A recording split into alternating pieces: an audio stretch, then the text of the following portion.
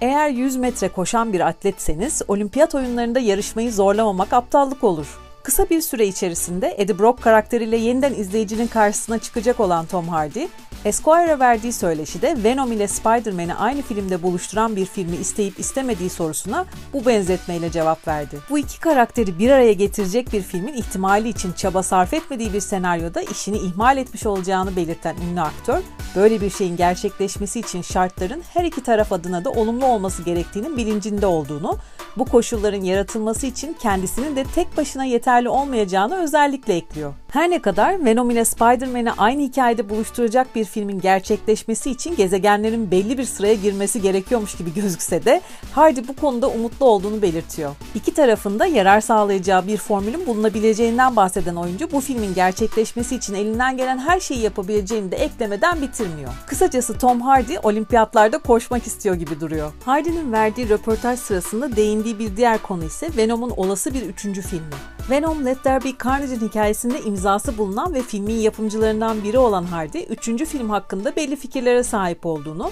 fakat her ne kadar Sony ikinci filmden memnun olsa da olası bir üçüncü filmin ancak ikinci film gişede başarılı sonuçlara imza atarsa stüdyodan yeşil ışık alabileceğinin farkında olduğunu söylüyor. Venom Let There Be Carnage'in gişesini düşünen sadece Tom Hardy değil. Sony son dönemde tüm dünya genelinde olduğu gibi Amerika'da yayılımını arttıran Delta varyantının etkilerinin gişeye de yansıdığını düşünerek Venom 2'nin vizyon tarihini 3 hafta kadar erteledi. Daha önce pandemi sebebiyle birçok kez ertelenen filmin Amerika vizyon tarihi 20 24 Eylül'den 15 Ekim'e alınmış oldu. Delta varyantının etkileriyle birlikte sinema severlerle yapılan anketlerde pandemide salonlarda oldukça ya da çok rahat edebiliyorum cevabını veren insanlarda son bir aylık süreç içerisinde %14 gibi bir düşüş yaşanmıştı. Venom, Let There Be Carnage'ın ertelenmesinin stüdyolar arasında küçük bir erteleme dalgası yaratıp yaratmayacağını ise yakın zamanda göreceğiz gibi duruyor. Filmin 24 Eylül olarak belirlenen Türkiye vizyon tarihi henüz değişmezken orta vadede bu tarihte de bir güncelleme olabileceğini belirtmeden geçmeyelim. 2018 yılında gösterime giren ve dünya genelinde 856 milyon dolar hasılata ulaşan Venom'un devam filminde Venom ile simbiyotik bir ilişki sürdürmeye çalışan gazeteci Eddie Brown karşısında bu kez Carnage ve Shrek gibi karakterleri göreceğiz.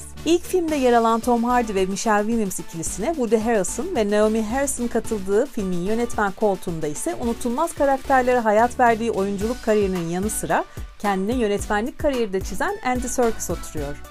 En son çıkan fragmanlardan ve film dünyasından gelişmelerden haberdar olmak için kanalımıza abone olmayı unutmayınız.